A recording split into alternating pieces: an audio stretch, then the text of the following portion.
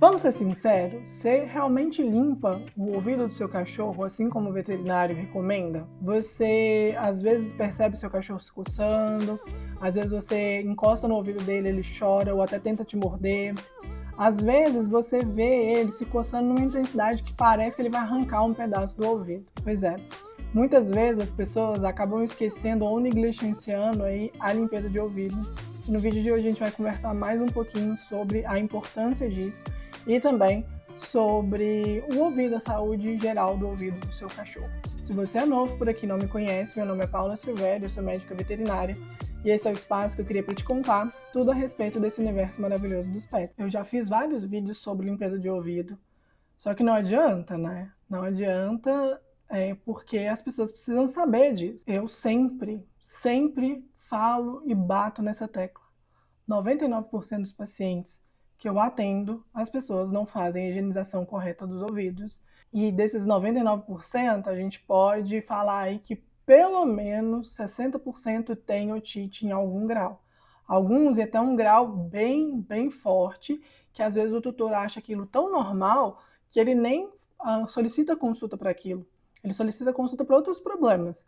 Mas aí que o veterinário vai fazer a avaliação física e acaba descobrindo que o animal está com uma otite severa ali. Então, é por isso que eu resolvi fazer esse vídeo mais uma vez falar sobre saúde auditiva com vocês. A saúde auditiva, gente, não é só questão de higiene, é questão de saúde também. Afinal de contas, a gente tem as otites aí e que podem ser inflamatórias, infecciosas e por aí vai. Então é muito importante eu alertar vocês que isso pode gerar um problema grave, como um otematoma, por exemplo, ou também problemas neurológicos. Tem gente que acha que o veterinário exagera quando fala sobre isso, mas na verdade, não. Na verdade, aquele cachorro que ele se coça demais, que ele é, bate muito forte no ouvido e se esfrega demais, sim, ele pode ter ruptura de tímpano e sim, vai aumentar demais a chance dele desenvolver algum problema neurológico. Isso aconteceu recentemente. Eu mostrei para vocês lá no Instagram. Quem me segue no Instagram viu a história do, da cachorrinha que eu mostrei para vocês, que estava com otematoma, que quando eu cheguei lá para poder avaliar, para fazer uma avaliação pré-cirúrgica,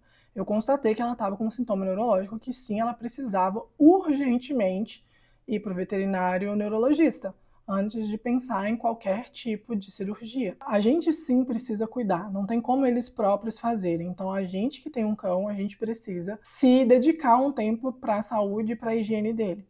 Eu sei que tem gente que tem um cachorro lá fora, eles aqui dentro, e é muito pequeno o vínculo, mas ainda assim, se você está cuidando daquele animal, você é o responsável por ele. E olha, isso vai gastar cinco minutos do seu dia, nem cinco minutos, e uma vez por semana, pelo menos. E, isso vai te economizar um dinheirão e um tempão, porque tratar doença de ouvido é muito chato, é muito demorado.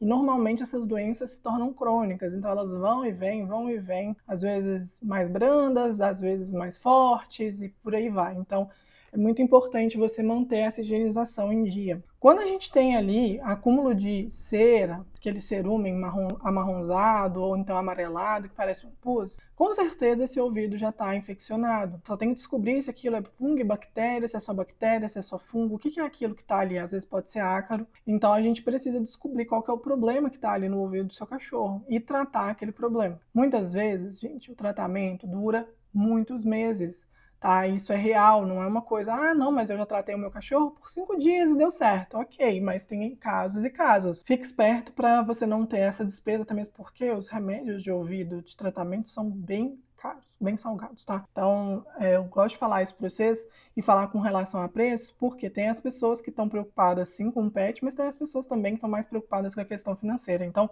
eu preciso alertar essas pessoas que estão preocupadas com a questão financeira que Quanto mais você empurra com a barriga, mais caro vai ficando o tratamento depois, não tem muito como você fugir disso. Tem muitas é, doenças né, comuns ali no ouvido, apesar das pessoas só associarem isso com otite, é, a gente tem a otite mesmo, a otite externa, a gente tem a presença de corpo estranho, a gente tem também ácaro, né, de, de ouvido, que é chamado de sarnotodésca, eu não sei se vocês já ouviram falar. A gente também tem as alergias, que é bem comum um animal que tem uma alergia na pele ter aí é, problemas alérgicos no conduto auditivo também.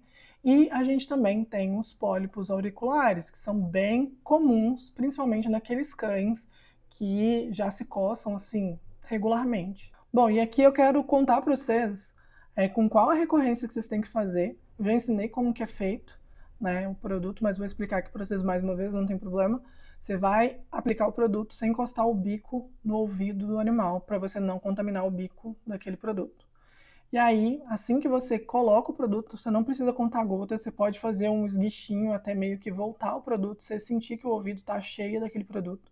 E aí você vai fazer ali uma massagem nos dois ouvidos. É uma massagem mesmo, tá? Assim, para quê?